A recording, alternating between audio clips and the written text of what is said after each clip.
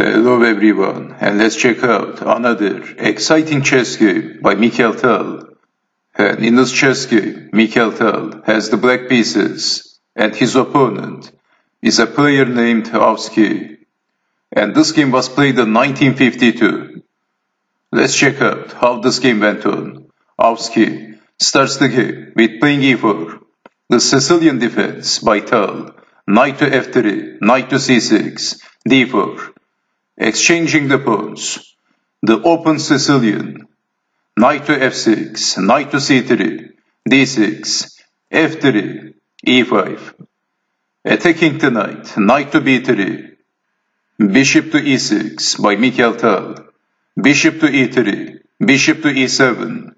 Queen to d2, a5. Attacking from the queen side, stopping the pawn. a4 and Mikhail Tal castled. But on the other hand, Aevski castled from the queen side. An aggressive approach by Aevski. His plan is simple, pushing the pawns from the king side, opening the files like the F, the G, and the H file, and hoping to attack the king after creating open files in the king side. That's the plan.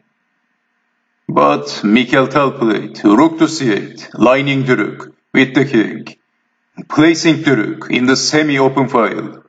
And we have g4 by Aevski as planned, pushing the pawns, marching the pawns, knight to b4. The knight is too close to the king, push the other pawn. But Aevski pushed the pawn once again, g5, knight to d7, and then h4 by Aevski. Knight to b6 by Mikhail Tal. Maybe white should kill the knight. Capturing the knight with the cardinal would be a good move for white, but impatiently Aevski pushed the pawn once again. And it is black to move. What would you do in this position? Mikhail Tal sacrificed the knight. Knight takes on a4 by Tal. The first sacrifice at move 16. But Aevski didn't capture the knight and he pushed the pawn. But let's take it back. Why not capturing the knight? If knight takes on a4, well this is no rocket science. Because then bishop takes on b3 and the pawn is pinned. Getting back the material. And black is much better in this position. Let's get back to the real game. After knight takes on a4 by Tal, we have g6. Keep going. In the king side. What would you do? Well, Mikhail Tal captured the knight with the bishop. Bishop takes on b3. And what else? White captured back. C takes on b3. And then knight takes on c3.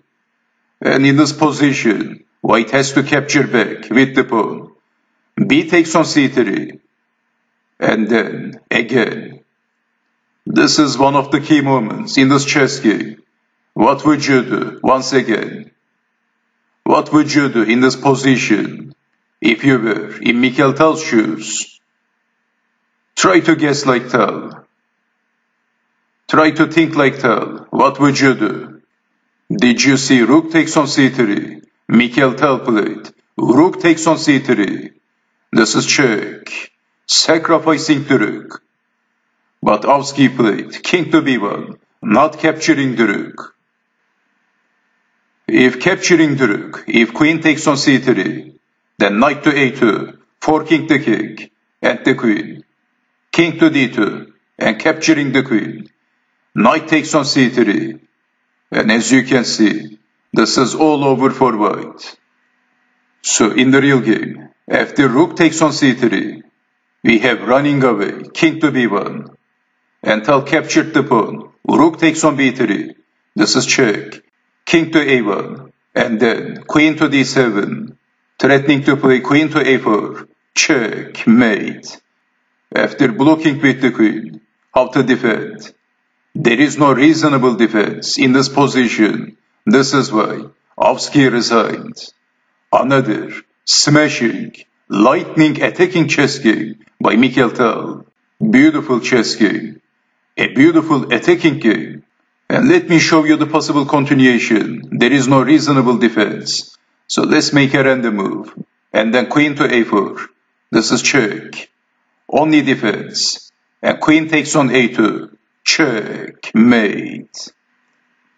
White could prolong the game with moves like g takes on f7, rook takes on f7, and queen to a2, and knight takes queen, bishop to c4, queen to a4, and queen takes on b3, and once again, white is losing in this chess game.